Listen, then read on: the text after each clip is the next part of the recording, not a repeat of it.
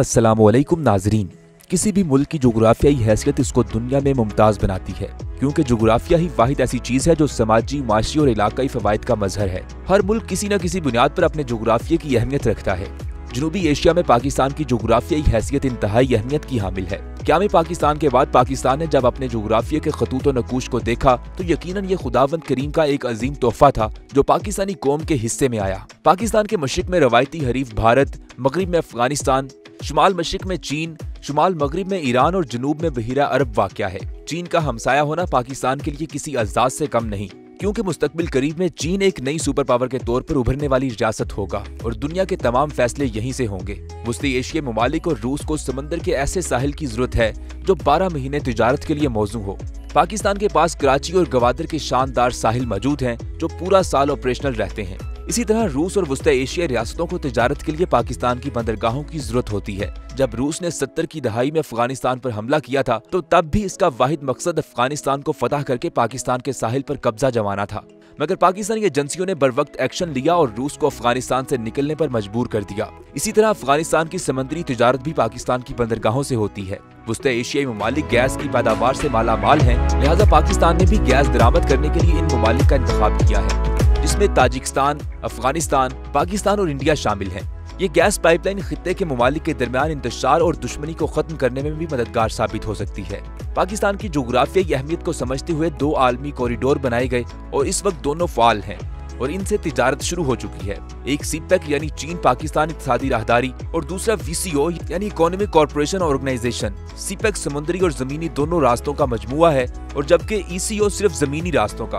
CPEC मुकम्मल हो भी रहा है और कुछ हद तक मुकम्मल भी है इसी तरह ईसीओ सीपेक की बात करें तो गवादर बंदरगाह मुल्क की मीशत को परवान चढ़ाने में अपना हिस्सा डालना शुरू हो चुकी है दूसरी तरफ़ ईसी यानी Islamabad Tehran Istanbul road transport corridor का अफ्ताह हो गया है इस मंसूबे की बुनियाद 2011 में तुर्कमानिस्तान में मुनद होने वाली इकोनॉमिक कॉरपोरेशन ऑर्गेनाइजेशन यानी ईसीओ में रखी गई थी इसके तहत तुर्की ईरान और पाकिस्तान से तिजारत सड़क के रास्ते शुरू की जाना थी ये 5,320 किलोमीटर का रास्ता है। ट्रेन का आगाज़ कुछ अर्सा पहले हुआ और अब खुशखबरी ये है कि 27 सितंबर को कराची से नेशनल लॉजिस्टिक्स कंपनी के ट्रक रवाना हुए और 7 अक्टूबर को बजरिया ईरान इस्तंबुल पहुँचे जहाँ एक शानदार तकरीब मुनद हुई। ईरान पाकिस्तान और तुर्की के अहदेदारों के अलावा जनीवा से तल्लुक रखने वाले इंटरनेशनल रग्बी यूनिवर्सिटी के सेक्रेटरी जनरल ने भी शिरकत की। इस रास्ते की अहमियत का अंदाज़ा इस हकीकत से लगाया जा सकता है कि एशिया से यूरोप में तजारत के लिए नहर स्विस का रास्ता इस्तेमाल किया जाता है।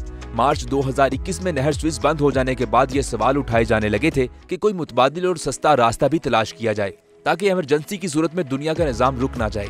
इस हवाले से इसराइल भी नहर स्विस की तर्ज पर एक नई नहर बनाने का पुराना मंसूबा सामने लेकर आया, जिसके लिए अरब ममालिक की हमायत की ज़रूरत थी। गो के दुनिया ने इस मंसूबे की हमायत नहीं की, लेकिन एशिया को यूरोप से मिलाने के लिए पाकिस्तान, ईरान और तुर्की के रास्ते को जेर बहस लाया गया। अगरचे जमीनी रास्ता समुद्री रास्ते का मुतबादिल नहीं हो सकता, लेकिन इमरजेंसी सूरत हाल में ये बेहतरीन ऑप्शन के तौर पर ज़रूर इस्तेमाल किया जा सकता है।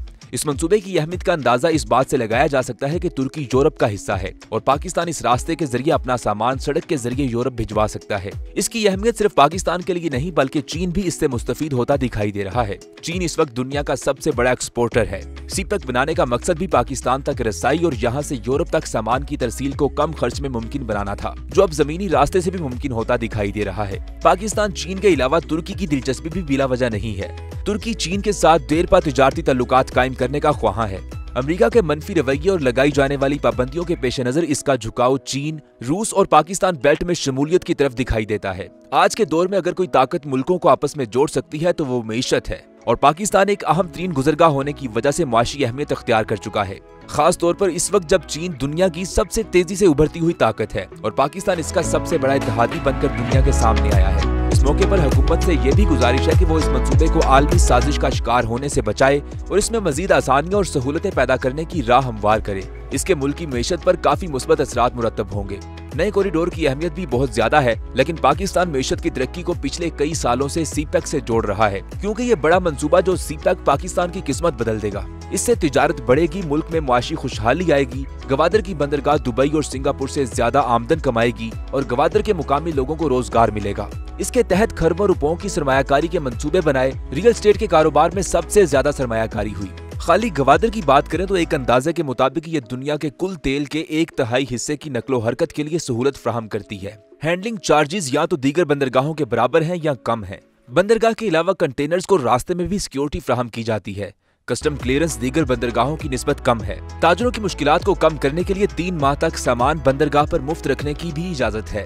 इन सहूलतों के साथ दरामद कुरिंदगान और बरामद कुरिंदगान गवादर बंदरगाह से तजारत करना शुरू कर रहे हैं। अभी भी कुछ मुश्किल हैं जिनकी वजह से काम बहुत ज़्यादा बड़ा नहीं।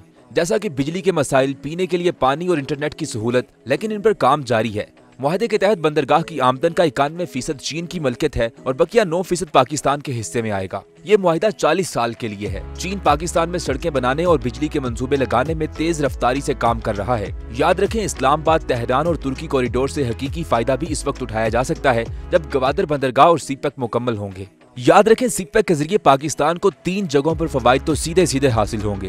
नंबर एक बिला वास्ता फवाद जिनका तखमीना तोानाई और इंफ्रास्ट्रक्चर के शोबों में सालाना बुनियादों पर होने वाली तरक्की, यानी ग्रूस वैल्यू एडिट में इजाफे के ज़रिए लगाया जा सकता है। बिलफर्ज तोानाई के शोबे में तब्दीली की शराह एक से जायद हो तो तोानाई की पैदावार और इस्तेमाल में दो फ़ीसद इजाफा मजमू कौमी पैदावार को मौजूदा सतह से दो फ़ीसद बढ़ा देगा। नंबर दो बिल वास्ता फवाद इनका अंदाज़ा मसनुआत और खिदमात की बिला वास्ता तलब के नतीजे में होने वाली सरगर्मियों के मुतद असरात से लगाया जा सकता है।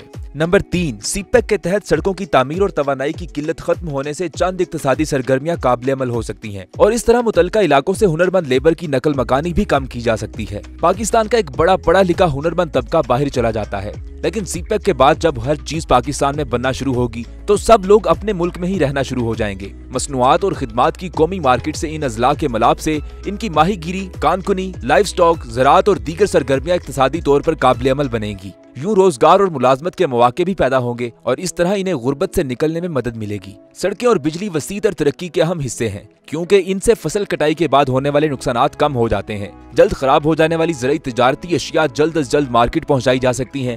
मार्केटों तक तरसील के अखराज कम हो जाते हैं और यूँ किसानों के पास ज़्यादा पैसा आता है।